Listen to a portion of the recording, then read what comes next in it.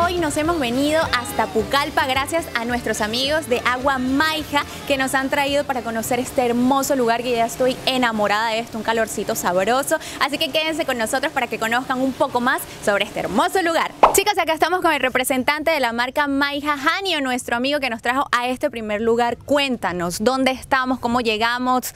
Háblame de esto.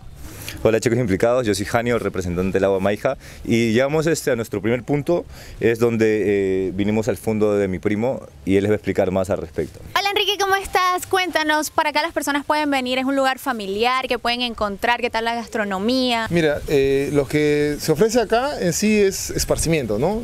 Empezamos con piscinas, campos de fútbol, de vóley, bueno, la laguna que también muchos vienen acá a nadar, a, a meterse los clavados y todo eso. Y bueno, la gastronomía, pues no, no es por ser mío el lugar, sino que sí, la gastronomía es muy buena. La comida que tenemos acá es buena. Eh, las, las, referencias que tenemos la gente es que sí se va contenta, la comida les agrada. Claro, quien no se va contento de aquí con esta brisa tan espectacular, este verde y la laguna, todo. Sí. Y tú me puedes comentar por qué le pusieron ese nombre. aquí eh, viene de, bueno, el, es el nombre del lugar de donde toda la familia, tanto como yo, como mi primo, la mamá de mi primo, la, una parte de la familia es de esa zona, la selva central. Es un lugar, es un puerto que se llama Puerto Bermúdez, que en dialecto shaninga es Kobiriaki, Kubiriaki, Kobiriaki, suena algo así. Entonces mi papá siempre tenía metido en mente algún negocio que tengo, le voy a poner ese nombre y pues le puse este negocio.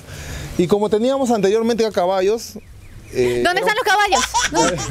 ya los llevamos un poquito más alejados de la ciudad porque me causaba mucho... Ah, ya no están los caballos. Oh. Entonces sale el nombre de Fundo, con el Kubiriaki, pues, ¿no? Que, que, mi papá quería el Kubiriaki y quedó con ese nombre. Fundo Se le metió entre ceja y ceja y eso sí, es. quedó, pues, ¿no? Ok, ¿las redes sociales? Ah, nos pueden seguir en redes sociales, tenemos en Facebook, tenemos eh, como Fundo Kubiriaki, eh, nos encuentran ahí y bueno, si quieren contactarme también al teléfono que tengo al personal, ¿no? Que okay. los contacto. Por acá abajo va a aparecer todo chicos, así que no se preocupen para que puedan reservar y puedan conocer este espacio, este lugar tan espectacular. Muchísimas gracias no, Enrique, gracias. Gracias a ti. Seguimos con nuestro recorrido, ahora quiero que me digas, ¿dónde estamos? Este, ahora hemos llegado acá este, al puerto de reloj público, aquí atrás está el río Cayali, como pueden apreciar. Tenemos también este, eh, los, las ¿Los lanchas, rápidos? las lanchas rápidos que salen todos de acá. Las lanchas son de carga y los rápidos son de pasajeros. De acá salen para Contamana, Iquitos y muchos, y muchos sitios de acá de, del, del Ucayali, ¿no? Y esto supongo que hoy como es domingo están todos parados, pero ¿sabes cuál es el recorrido? ¿Cuánto tiempo se tardan en llegar a estos lugares? Eh, salen en la mañanita, pues como 5 de la mañana, súper temprano. Y pues este, de acá a Contamana se hacen como 5 horas, que es muy rápido. En las lanchas se demora como una noche entera, 12 horas por ahí. Eso lo hacen en 5 y pues es, es mejor, ¿no?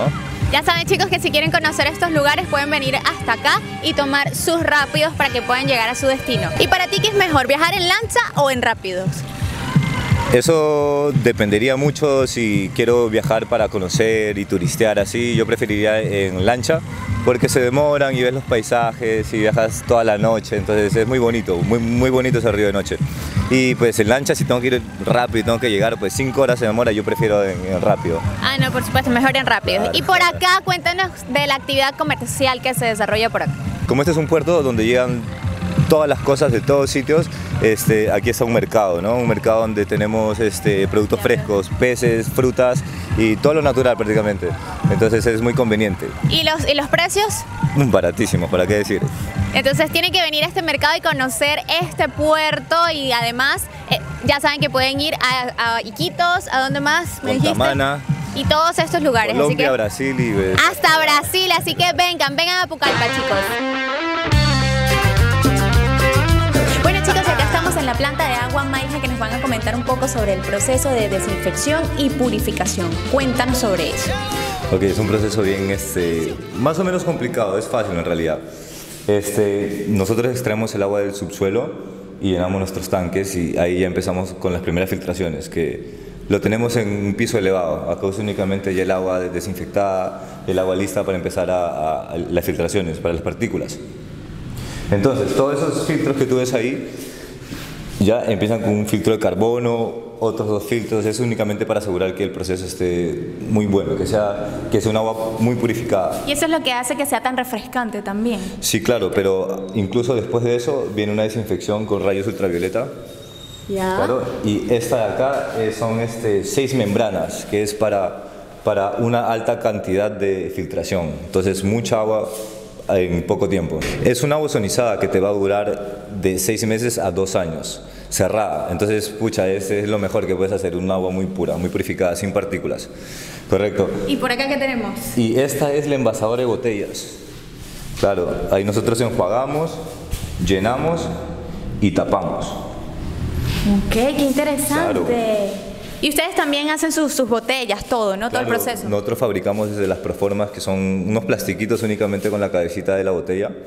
Y pues este, y sí, sí, es, es, es económico, nos conviene para la producción. Una producción en masa a bajos costos nos hace ganar y podemos vender el producto a un buen precio.